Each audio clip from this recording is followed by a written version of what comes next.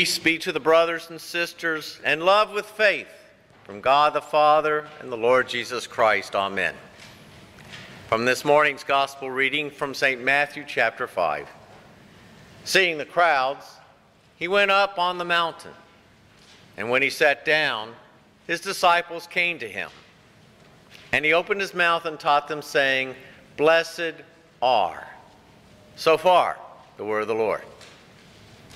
The public ministry of Jesus begins with his proclaiming the gospel of the kingdom and healing every disease and every affliction among the people. Unlike the religious types and the street side prophets of his day, Jesus' ministry was quite different. Rather than a barrage of doom and gloom or an incessant turn or burn diatribe, Jesus preached gospel literally good news about the kingdom of God. While John the Baptist's message of repentance, confession, and baptism found him surrounded by the crowds, Jesus was hard pressed by multitudes.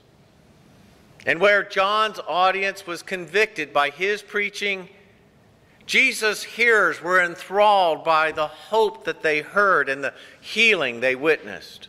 And wherever Jesus went, people from all over the place, even Gentiles from well beyond the Jordan, were coming. The huge crowds just kept getting bigger as his fame spread. And so it was one day that Jesus tried to create some space and devote some time to the teaching of his disciples. And so he goes up a mountain with the disciples who traveled with him, sat down and began to speak to them. Now, note exactly how the reading describes it. Seeing the crowds, he went up the mountain. And when he sat down, his disciples came to him, and he opened his mouth and taught them. While my, many other people may have been close enough to listen in, Jesus wasn't addressing them. He was talking to his closest followers to men who had already committed themselves to him. He was going to talk to them about God's kingdom, their place in it, what they would discover about God's gracious movement among his people. Where the inferior kingdoms of sinful men focus on things like duty, honor, and country, the kingdom of heaven focuses on God's grace to us. And the teaching begins not with some exhortation to listen up, but with blessed are, enumerating what have come to be called the Beatitudes. Our text for this morning continues Blessed are the poor in spirit, for theirs is the kingdom of heaven. Blessed are those who mourn, for they shall be comforted. Blessed are the meek, for they shall inherit the earth. Blessed are those who hunger and thirst for righteousness, for they shall be satisfied. Blessed are the merciful, for they shall receive mercy. Blessed are the pure in heart, for they shall see God. Blessed are the peacemakers, for they shall be called sons of God. Blessed are those who are persecuted for righteousness' sake, for theirs is the kingdom of heaven. Blessed are you when others revile you and persecute you falsely on my account. Rejoice and be glad, for your reward is great in heaven, for so they persecuted the prophets who were before you. So far, the word of the Lord. A common mistake people often make is misunderstanding what the Beatitudes are getting at. Some people hear them as be attitudes. That is, these are the things you need to do to make God happy. Such folks see these blessing statements as prescribing a Christian lifestyle, describing a conditional relationship with God, a you do this and God will do that response. And perhaps if Jesus were on that mountain addressing the crowds as a new Moses or as a reincarnated prophet Elijah, that could be the proper understanding. But as we noted earlier, Jesus isn't addressing the crowd, he's teaching his disciples. And not only that, The very words Jesus used are not stated as imperatives, they're not commands. Jesus calls his believers blessed. Those are indicatives. It indicates their status. It's a factual statement that those who are following Jesus are blessed by God's choosing, not their doing. What Jesus describes as not the expectations of God for men, but the values his kingdom demonstrates before the eyes of men. That Jesus undertakes this teaching his disciples what life in God's kingdom looks like. In today's introit from Psalm 15, David reflects the idea of godly values being lived out by godly people. He writes, O Lord, who shall sojourn in your tent? Who shall dwell on your holy hill? He who walks blamelessly and does what is right and speaks truth in his heart, who does not slander with his tongue, does no evil to his neighbor, nor takes up a reproach against a friend, in whose eyes a vile person is despised, but who honors those who fear the Lord, who swears to his own hurt and does not change, who does not put out money at interest and does not take a bribe against the innocent. He who does these things shall never be moved. And while David is listing all kinds of actions on the part of God's people, what he's really describing is the attitude of God's people, of they're living out God's kingdom values.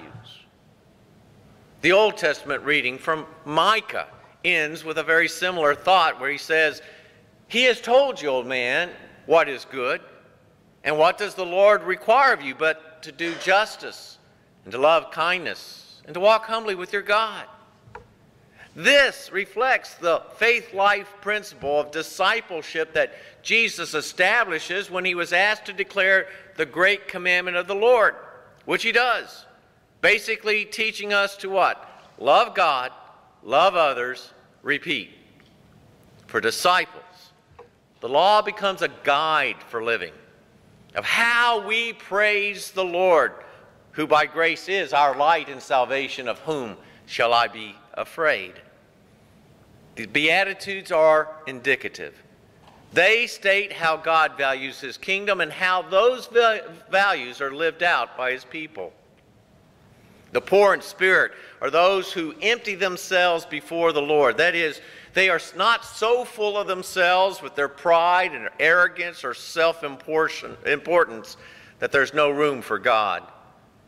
To those who are empty of their own sinful self, God pours his grace into their hearts. Thus, theirs is the kingdom of heaven. Not a maybe, not a something to come way off in the future, but a right now status confirmed on them by God. Those who mourn are people who have a sense of compassion for what's going on around them. They recognize the effect of sin on the world, mourning both what has happened to them as well as what they've done to others. And God promises the comfort of their souls, which only He can give and does give through the forgiveness of sins that flows from His grace.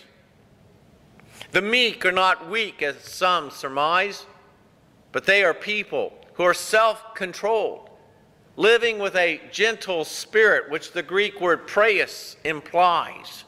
You see, they look beyond themselves to the needs of others and because their gaze is beyond themselves, they see the providence and the caring of God the Father in creation. And so to them, God gives the earth. Those who hunger and thirst for righteousness are people who are looking for something new, better than a life marked by sin and misery and regret. Their eyes are open, searching for the signs of God's grace, and their hearts yearn for Him. Their longing is reflective of the words from Psalm 42, where David says, As a deer pants for flowing streams, so pants my soul for you, O God. Satisfaction is the promise for their yearning. The merciful are those who deal with the people around them sympathetically rather than judgmentally. Instead of being arrogant toward others, the merciful humble themselves. They know that they too are sinners, and that without the grace of God in the redeeming work of Jesus, they also would face condemnation. But instead, God promises that they will find mercy before his judgment seat.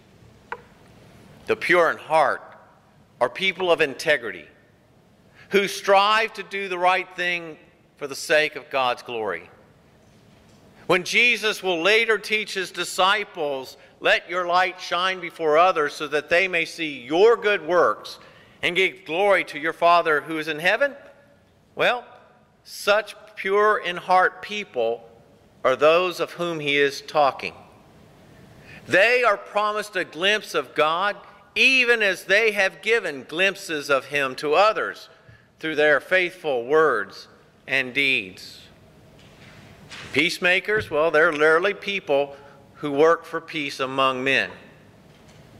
The word peace in the Greek, charis, is used in the same manner as the Hebrew word shalom, which is not merely the absence of evil, but as having a concern for the well being of others, of seeking others' highest good. Followers of Jesus work for peace in the manner of their master, the Prince of Peace, who in return calls them sons of God, a title only God Himself can bestow. God calls them sons as they walk in His Spirit in their peacemaking. Those who are persecuted are blessed because they're willing to suffer for doing the right thing. And likewise, those who are reviled and persecuted on account of following Jesus as their master are promised the kingdom of heaven and all its great rewards. Whatever the world may take away from them will be more than made up for in their heavenly possessions to be received. Rejoice and be glad, Jesus says, for there is blessing in going through all of our experiences as, what, as we do so in fellowship with Him. The kingdom of heaven is different from all the kingdoms of the earth. Its values are placed into the hearts of believers to be lived out in their lives as the blessed children of God. The attitudes of the faithful become the motivation for their actions as they live as followers of Jesus, their Lord and Savior.